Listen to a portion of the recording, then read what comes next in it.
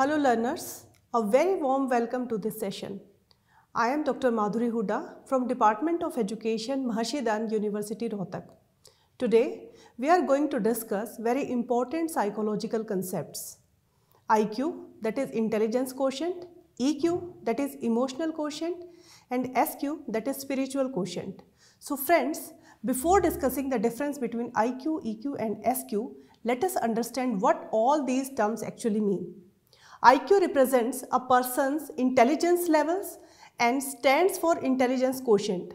IQ is mentioned in number and indicates a person's power of reasoning and logical thinking. An IQ score is a score on intelligence test which is a standardized intelligence test and is calculated by dividing a person's mental age by the chronological age and then it is multiplied by 100. The score on the test signifies a person's cognitive capacities like power of thinking, reasoning, problem solving abilities. This term IQ was given by William Stern. Whereas when we talk about EQ, it is the abbreviation of the term emotional quotient which signifies a person's ability to understand his or her own emotions and others' emotions. This understanding about emotions helps in guiding a person's thinking and behavior in a particular way. And this term EQ, emotional quotient, was given by Daniel Goleman in the year 1995. Emotional intelligence is the ability of the individual to understand, express and manage his or her own thoughts and actions and understand other person's emotions and situations and managing the emotional stress and pressure. EQ has a great role to play in better mental health, better job performance and consequently quality of life. Friends, IQ signifies the uh, cognitive competencies whereas EQ signifies how the individual treats other person and interacts with them. Whereas another very significant term, spiritual intelligence, it is the ability to understand the real and fundamental principles of life. Spiritual intelligence is the ability to understand that everything which is being done has a meaning, value and worth in it.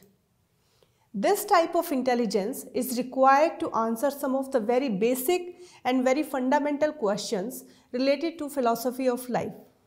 Actually, intelligence is composed of three Qs, intelligence quotient, emotional quotient and the spiritual quotient. As an overview, we can say that intelligence quotient is related to cognitive abilities, EQ is related to priorities and foundation, whereas SQ denotes your vision and values. All three components of intelligence are required for optimum performance in life. For an accomplished life, all the three types of intelligence is required. These three types of intelligence emerged as a result of great psychologist contribution.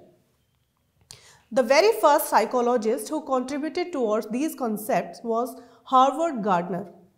Howard Gardner, who worked for the development of multiple intelligence theory in the year 1983 and wrote a book entitled Frames of Mind.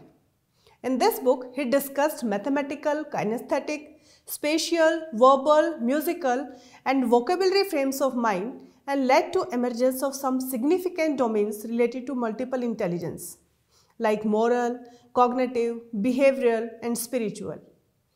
Intelligence of cognitive domain is the capability to grasp information, solve problems and make decisions. Intelligence of moral domain is the capability or power of differentiation between right or wrong action as per the universal norms and principles. Intelligence of behavioral domain is the capability to act adequately in different situations. Emotional intelligence is the capability to understand the emotions and feelings of own and others and managing those feelings and act appropriately. After this brief introduction, let us discuss these three types of intelligence in detail. First is intelligence quotient. See, Lifelong learning is considered as an enhancement of level of intellect, which denotes an increase in intellectual abilities, professional competencies and enhancement of skills. Process of maturity also enhance the wisdom of a person which also complements the intellectual level. As continuing education is a never-ending process and keeps on contributing towards intellectual development. Many psychologists define intelligence in a number of ways. And according to one definition, intelligence is the ability of abstract thinking and the capability to learn and to give response. As per another definition, it is the ability to adjust with the environment. An individual's intelligence is evaluated in terms of the capability of the individual to deal with the people and the surrounding. It can be said that intelligence is evaluated in terms of functional effectiveness of a person's cognitive abilities. As some psychologists said that intelligence is abstract thinking.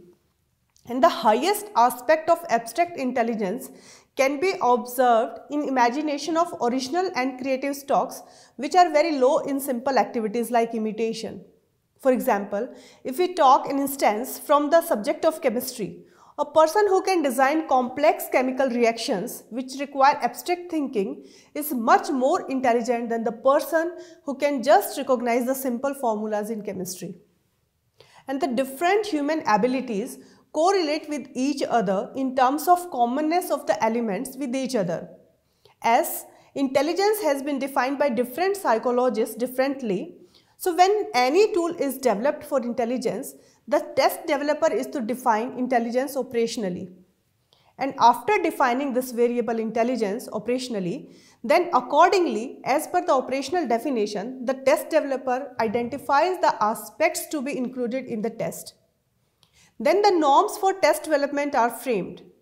The intelligence test is prepared in that accordance and the draft of this prepared test is administered for calculating the mental age of the individual.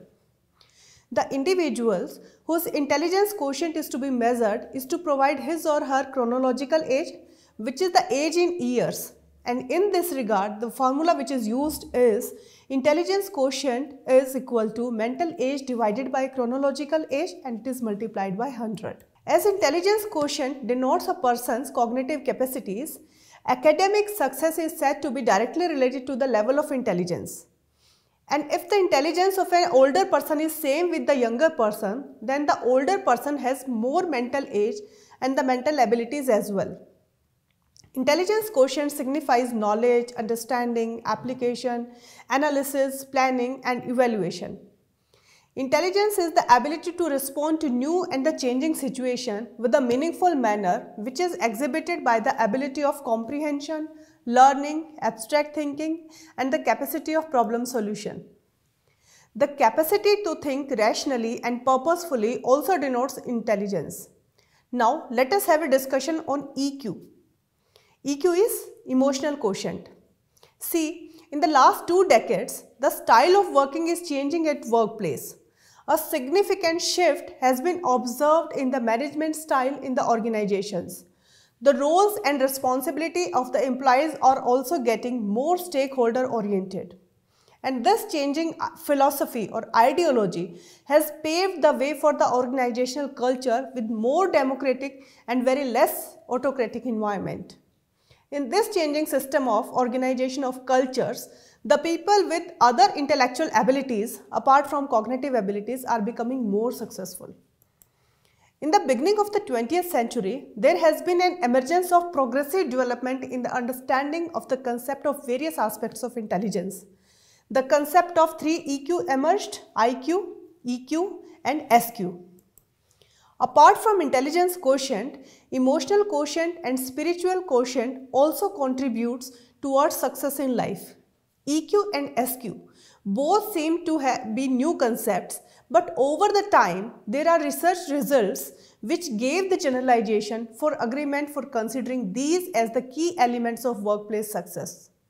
The term emotional intelligence was originally coined by Salovey and Mayer and in the year 1990.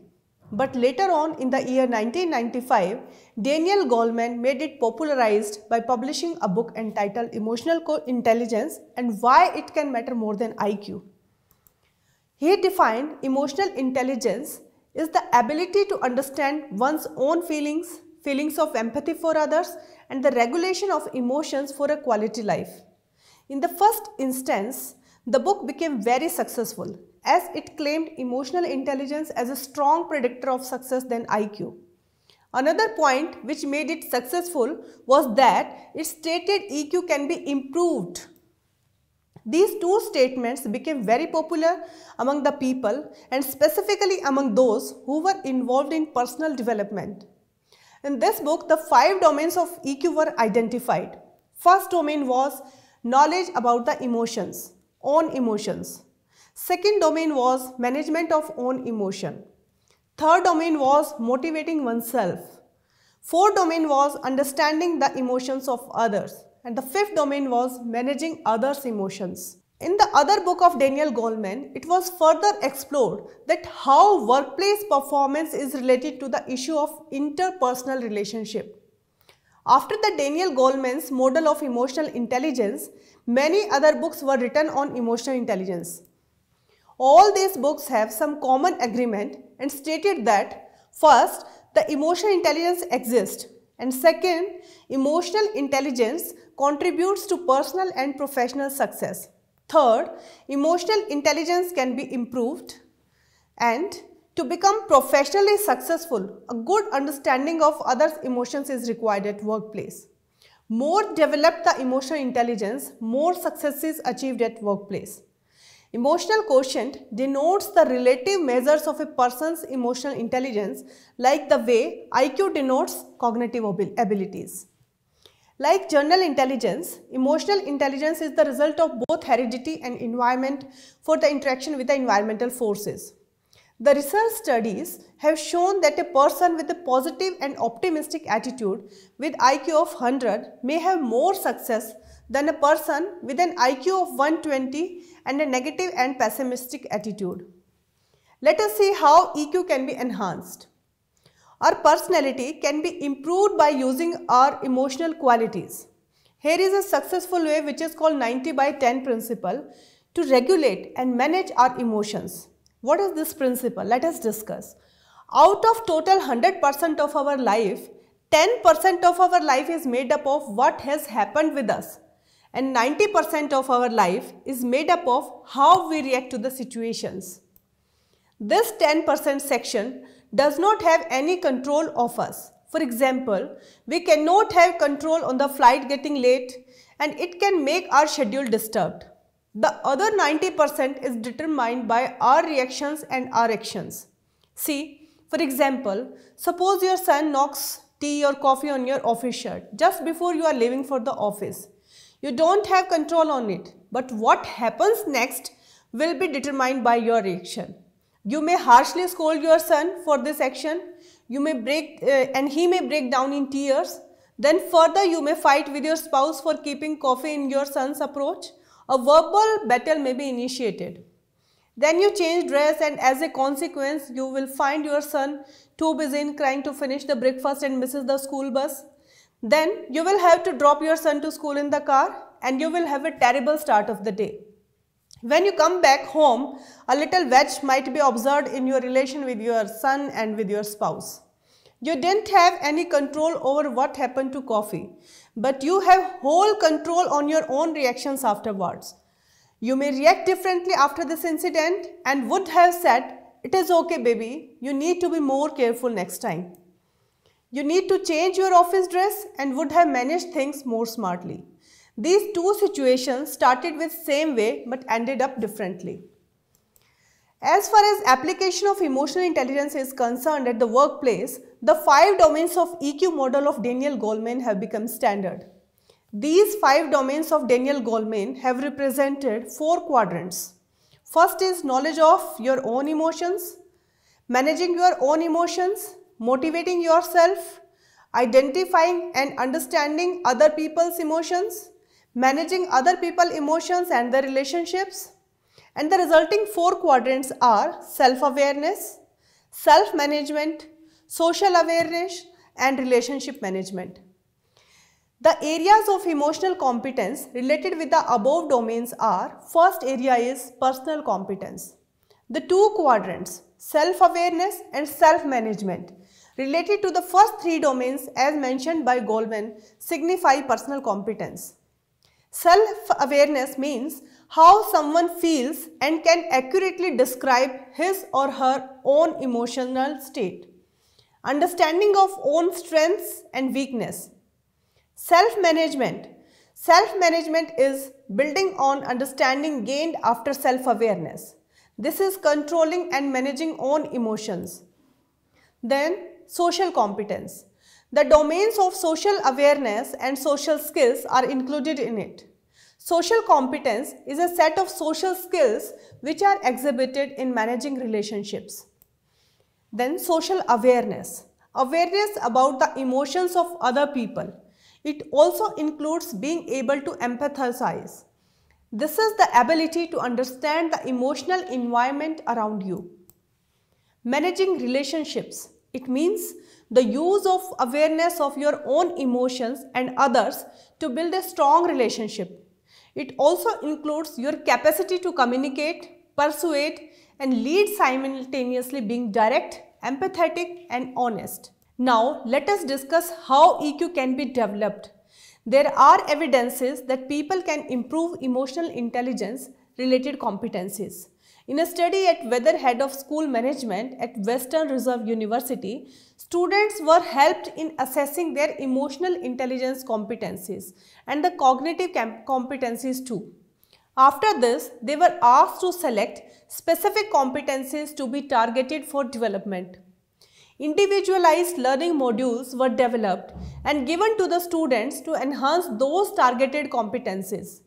The result of this study indicated that emotional intelligence competencies can be significantly improved and further this improved competencies were sustained in future over the time. This study encouraged other organizations to invest in the development of such competencies which were useful for their organization apart from cognitive abilities. Then spiritual quotient. Spiritual quotient is now known as ultimate intelligence. This type of intelligence gives value judgments and meaning to our life. It gives us the vision to see beyond materialistic success for the larger purpose of life. It is the capacity to understand deeply the existential questions and the ultimate answers. As consciousness evolves into the deep awareness of the matter, life and the soul and spiritual intelligence emerges. It is beyond an individual's mental abilities and cognitive abilities. Spiritual intelligence connects self to spirits. Self-awareness is already implied into it. It is the awareness of the relationship with the transcend. The two other type of intelligence, IQ and EQ are included in it. It has been a misconception that higher the IQ, higher will be the individual success. But the later on with the results of the researches, it was proved that people with high IQ faced many failures in life.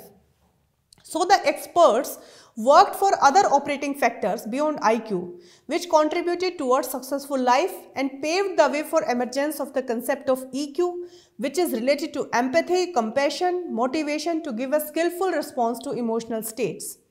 But in life, there are some situations which are even not handled by EQ and need to be addressed by some other elements of intelligence. So, SQ, spiritual quotient emerged as the latest concept. As Gardner's multiple intelligence theory gave the aspects of intrapersonal intelligence and EQ is associated with it. Similarly, naturalistic and existentialist theories advocate for spiritual quotient. This spiritual intelligence is the only type of intelligence which is possessed by human beings. As the animals, be it dog or cat, possesses intelligence and emotional intelligence as well, they understand the emotions of love, anger, anxiety, etc. very well, but still lack the ultimate quotient. Even in humans, the spiritual quotient is dormant for which it need to be ignited and nurtured. Remember, the cases of highly successful persons, for example, like IITians who committed suicide because they lacked spiritual intelligence and confronted and got victimized of various dilemmas. Robert Emmons defines spiritual intelligence as the adaptive use of spiritual information to facilitate everyday problem solving and goal attainment. Another statement by Srila Prabhupada narrates that man is a rational animal is not a perfect definition. Rather, it can be fairly said that man is a spiritual animal. It has specifically emphasized how much important the spiritual quotient is. The spiritual quotient is simply the ability to have the answer to most fundamental and ultimate questions from an authoritative source. Researchers have now claimed that a high IQ and high EQ both are insufficient for giving a successful life. A high SQ is very important for giving the ability to put high IQ and high EQ for appropriate use. Now let us discuss the association between IQ, EQ and SQ. Here we will discuss the relationship let us see the categorization of people in three main groups or categories in a specific way on the basis of ideologies about these types of intelligence. Group 1. The first group assumes that the individual shares all the three types of quotient to some extent. The success and failures in life pursued depend on the interaction between these three quotients. Group 2. The second group assumes that these three quotients are in hierarchical order in which intelligence quotient is at the base level, above this is emotional quotient and the top of this hierarchy is spiritual quotient.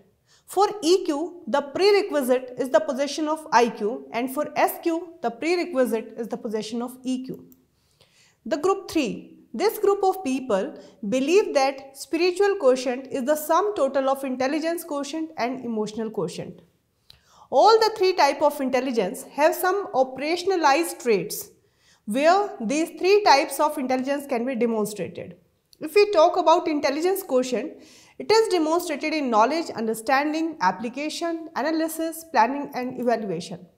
Whereas EQ is operationalized in teamwork, leadership activities, situations requiring empathy, action, management of relationship, emotional well-being, physical well-being and optimism. Then spiritual quotient operationalized in judgment, insights, creativity, problem solution, evaluation, synthesis, intuition, inspiration, vision, resilience and happiness.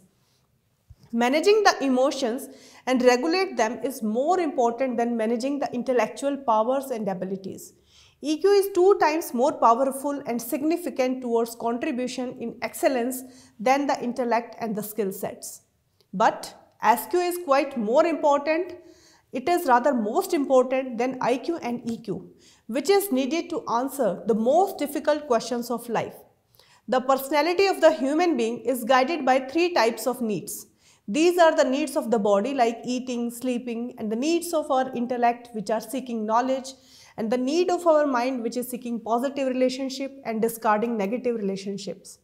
Any of the unregulated need of our personality will not result in a complete personality. This spiritual intelligence has the power to control all the three needs. IQ and EQ both help us to deal with day-to-day -day routine issues but spiritual quotient lead us to transform. The spiritualists have the power to question and to explore the answer to these questions at the deeper level. These questions may be who am I? What are my real needs in life? What time should I pursue? And the spiritual quotient replaces the ego in us with the self, which both usually are to occupy on the same seat of personal identity. When thoughts and emotions are governed by spirit, which symbolizes intelligence, emotional intelligence, and spiritual intelligence respectively, then the thoughts and emotions are transformed into quality and give a new vision and aim to life. When the, all the factors are analyzed and related to each other, it gives clear picture that physical, mental and social factors all contribute to holistic development of an individual in the form of developed intelligence. Making judgments on this half picture of the abilities will lead to ambiguous results. So friends, today we discussed three main psychological concepts which are very common. Intelligence quotient, IQ, emotional quotient, EQ and spiritual quotient SQ. Measuring only EQ and making judgments on it is not sufficient to measure a person's abilities. Intelligence is a mixed sum up of IQ, EQ and SQ. I hope you enjoyed today's session. Best wishes.